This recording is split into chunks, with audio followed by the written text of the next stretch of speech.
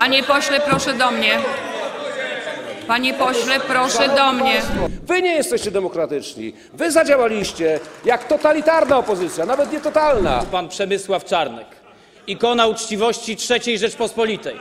Człowiek, który swoim znajomym i członkom PiSu rozdawał willę za 5 złotych. Rząd Rzeczypospolitej Polskiej, odpowiedzialny za państwo polskie, odpowiedzialny za Polaków, odpowiedzialny za zdrowie obywateli Rzeczypospolitej Polskiej, stanął przed obowiązkiem przygotowania wyborów w arcytrudnych warunkach. Nigdy, nigdy w historii III Rzeczypospolitej Polskiej nie miał miejsca taki przypadek, żeby trzeba było przygotowywać wybory w sytuacji, w której Wygasło życie społeczne, zablokowane zostało życie gospodarcze, zablokowane zostało życie polityczne, no ale 10 maja to był dzień wyborów, które musiały się odbyć. Dlaczego? Dlatego, że dobiegała końca pięcioletnia kadencja prezydenta Rzeczypospolitej Polskiej i odpowiedzialny rząd Rzeczypospolitej Polskiej nie mógł dopuścić do sytuacji, w której Polska nie miałaby prezydenta i nie miałaby daty wyborów. W związku z tym podjęliśmy działania, wszystkie możliwe, zmierzające do tego, żeby te wybory się odbyły. Nie odkrywaliśmy Ameryki. Nie odkrywaliśmy Ameryki. Postanowiliśmy, że te wybory, jeśli mają się odbyć i odbyć się jak najbardziej w sposób bezpieczny dla Polaków w dobie pandemii koronawirusa, to muszą mieć przebieg korespondencyjny. Nie jest to nowość. Kilka dni wcześniej odbyły się wybory w Bawarii, całkowicie korespondencyjne i odbyły się. To są praktyki stosowane na całym świecie. Wybory na prezydenta Stanów Zjednoczonych w dużej części odbywały się w trybie korespondencyjnym i przyniosły takie, a nie inne rezultaty. Chyba Państwo ich nie negujecie. Chcieliśmy zrobić dokładnie to samo. Niestety nie doszło do tych wyborów. Dlaczego? Świadczą o tym dwie wypowiedzi. Kogo? Przedstawicieli Platformy Obywatelskiej i to wysokich funkcjonariuszy Platformy Obywatelskiej. Pierwsza wypowiedź.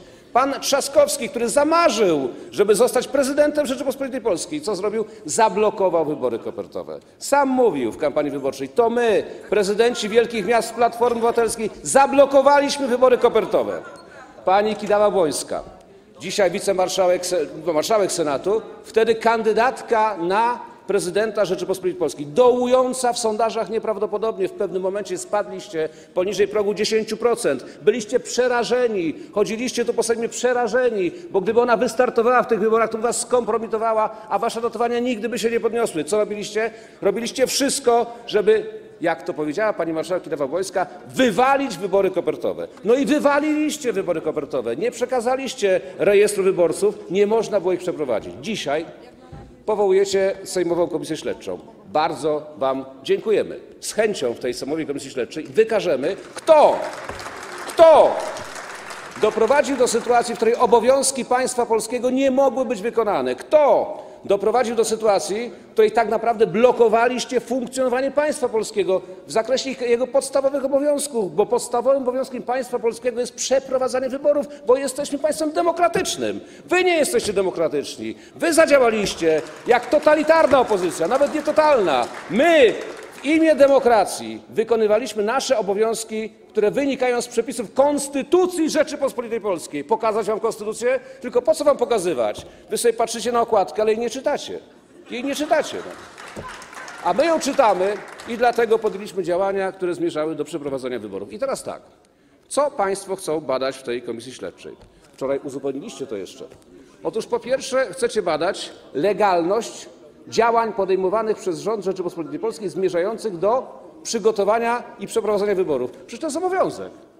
Nielegalne, szanowni państwo, byłoby nieprzeprowadzanie i niepodejmowanie tych działań, a myśmy je podjęli. Po co to badacie? Myśmy podejmowali działania, obecny tu pan prezes, y, pan premier Jacek Sasin, pan premier Mateusz Morawiecki i wszyscy w całym rządzie podejmowali wszystkie, wszystkie działania, które zmierzały do tego, żeby wybory 10 maja odbyły się, bo jest to obowiązek, a my obowiązki wykonujemy. Co chcecie badać dalej?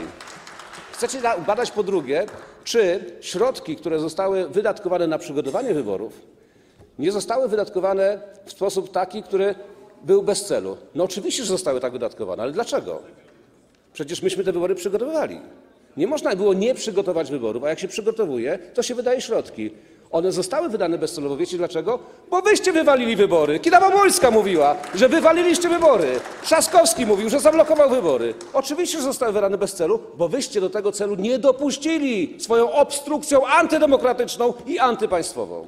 I po trzecie, szanowni państwo, no, chcecie badać, czy mieliśmy świadomość tego, że przeprowadzenie wyborów będzie zagrażało życiu i zdrowiu obywateli. No oczywiście, że tak. I właśnie dlatego podjęliśmy próbę przeprowadzenia wyborów kopertowych, korespondencyjnych, bo wiedzieliśmy, że w tamtej sytuacji nie można zrobić nic innego. Ale co wyście chcieli? Wyście chcieli odroczyć niezgodnie z prawem, używając do tego stanu klęski żywiołowej, wybory na kiedy?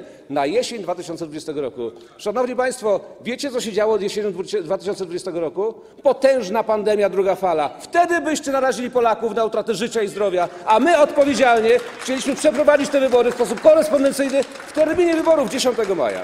No ale słuchajcie Państwo, najlepsza rzecz wczoraj się stała. Dołożyli do tego jeszcze jeden punkt. Chcą badać, uwaga, uwaga, legalność działań podejmowanych przez Radę Ministrów w celu stworzenia projektu ustawy. Na miły Bóg.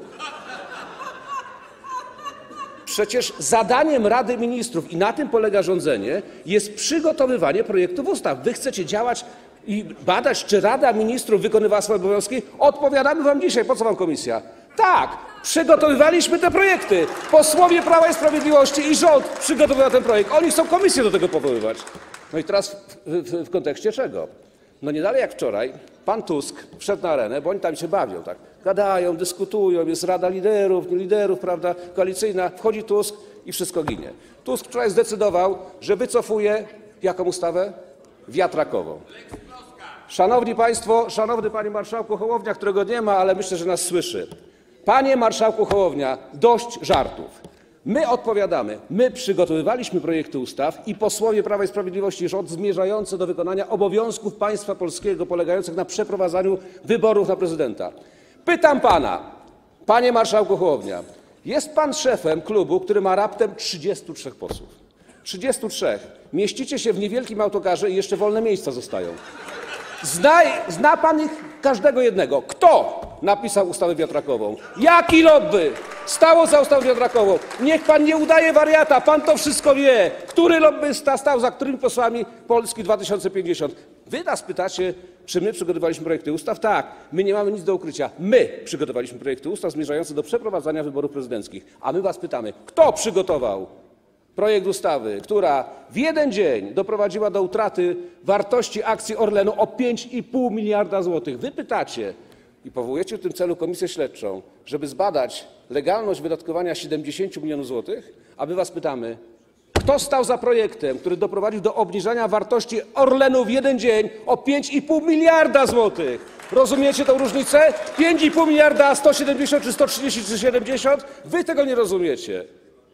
Szanowni Państwo, klub Prawa i Sprawiedliwości niezmiennie będzie głosował za powołaniem tej komisji. Wiele się od nas nauczyliście. Procent. I dlatego są pieniądze na rozwój infrastrukturalny, na rozwój społeczny, na życie w ogóle w państwie. Nauczyliśmy Was, Szanowni Państwo, demokracji. Pokazaliśmy, jak się prowadzi i przeprowadza wybory po to, żeby frekwencja w niej była największa w historii. Więc, kochani, powołajcie tę komisję, tylko uwaga, zgodnie z prawem i zgodnie z parytetami zapisanymi w ustawie o Sejmowej Komisji Śledczej. Powołajcie, a nauczymy Was uczciwości w debacie na temat demokracji. Przed chwilą głos zabrał pan Przemysław Czarnek, ikona uczciwości III Rzeczpospolitej. Człowiek, który swoim znajomym i członkom PiSu rozdawał willę za 5 zł. To jest ikona uczciwości. I taki człowiek to jest idealny przykład, bo panem zajmie się prokuratura w przyszłości. Panem Czarnkiem zajmie się prokuratura w przyszłości. Tutaj możemy być pewni. I dla pana Czarnka, który tutaj e, stoi, mam też wiadomość i wolałbym, żeby pan Czarnek słuchał, bo myślę, że mu się ta wiedza przyda. Że zarówno rozdawanie willi znajomym, jak i przeprowadzenia nielegalnych wyborów, za to jest odpowiedzialność karna. Czy wam się to podoba? Czy wam się to nie podoba? Czy pan Czarnek będzie teraz próbował przeszkadzać w wystąpieniu, czy nie? Nie ma to żadnego znaczenia. Odpowiedzialność karna za to prędzej czy później nastąpi, raczej myślę, że prędzej. I zastanawiałem się, czemu pan się w ogóle wypowiada na ten temat. Odpowiedź jest prosta. bo wy jedziecie na jednym wózku. Tak samo nielegalne jest rozdawanie willi, jak przeprowadzenie wyborów za 70 milionów złotych, które się nie odbyły. Szanowni Państwo, Pani Marszałek, musimy sobie zdać sprawę i Państwo wreszcie powinni też sobie zdać sprawę, mówię do Państwa z PiSu, że Polska to nie PiS. To, że Wy traktowaliście Polskę jak swoją własność, nie znaczy, że jest to prawda. To, że Pan traktował szkołę jak swoją własność, to nie znaczy, że tak jest. My się na to nigdy już więcej nie zgodzimy. Wasze pochuki- pochukiwania tutaj na sali są ostatecznym dowodem na to, ile Wam zostało. Nic Wam nie zostało. Szanowni Państwo, przechodząc do meritum. Mam dla Państwa, dla Polaków bardzo ważną wiadomość. Do końca rządów PiSu zostało już tylko nieco więcej niż cztery dni. Panie Marszałku, Pani Marszałek, gdy mówimy o premierze, a mam oczywiście na myśli Donalda Tuska, bo premier Morawiecki, który był tu na sali, uciekł, zresztą podobnie jak Sasin, to przypomnę te hasła, o których mówiliśmy. Zwycięstwo, rozliczenie zła, zadośćuczynienie i pojednanie. I przypomnę to raz jeszcze, jesteśmy w punkcie numer dwa, panie Czarnek. Rozliczenie zła. Rozliczymy zło i zaczynamy to robić właśnie teraz. I pan premier Morawiecki, co prawda, nie ma większości na tej izbie, ale uwaga, jest jedna rzecz, którą pan Morawiecki ma, a której państwo nie mają. I nie mam na myśli wcale działek, które przepisał na żonę. Nie chodzi o to. Chodzi o to, że pan premier Morawiecki ma odpowiedzialność za wybory kopertowe, które próbował w Polsce przeprowadzić. I ma też odpowiedzialność i poniesie odpowiedzialność za 70 milionów złotych, które zostały wyrzucone w sprawie e, wyborów kopertowych po prostu w błoto. Jeżeli wam się wydaje, że 70 milionów złotych to jest nic, to chciałbym wam powiedzieć, że to jest ogromna suma pieniędzy, o której większość Polaków nie mogłaby marzyć. Może nie pan Obajtek, ale jednak. Szanowni Państwo, w Polsce za nie, mm, nieprzekazanie paragonu klientowi grozi 20 tysięcy złotych kary. Pan Sasin, pan Morawiecki nie ponieśli żadnej kary.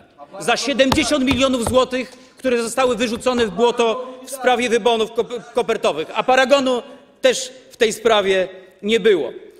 Szanowni Państwo,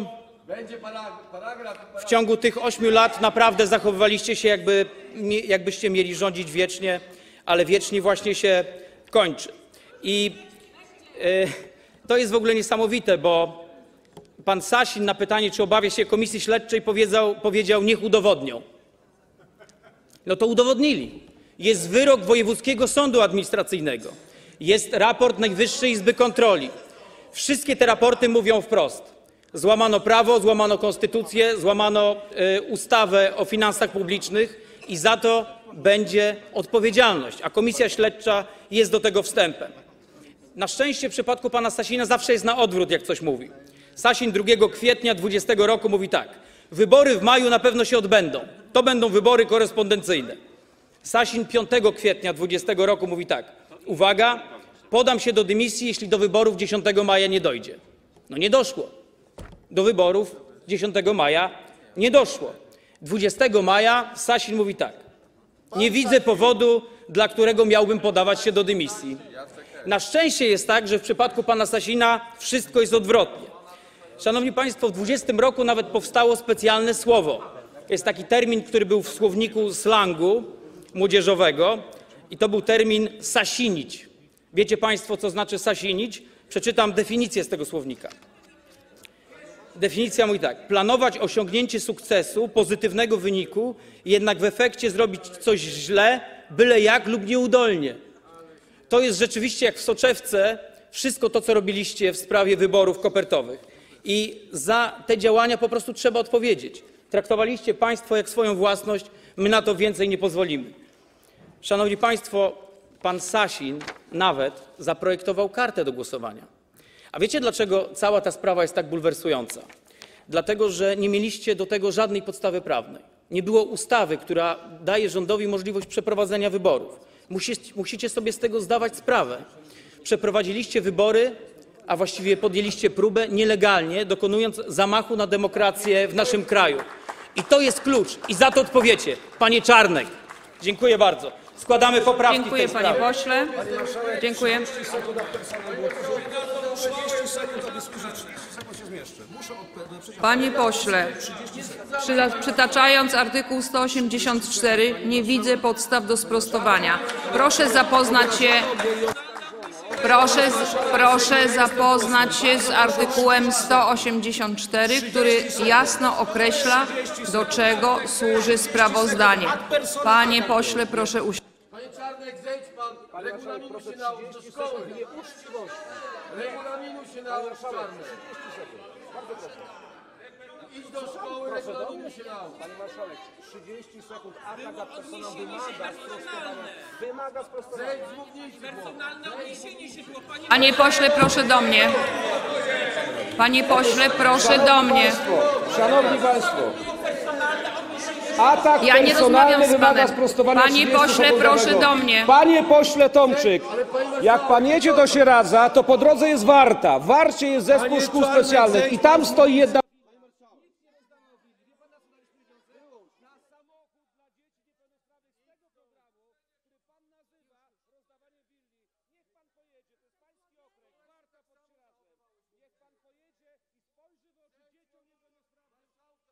Panie pośle, proszę do mnie.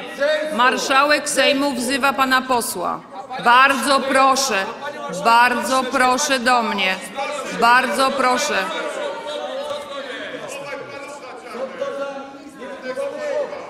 Panie pośle, czy pan może podejść do mnie? Wytłumaczę panu moją decyzję.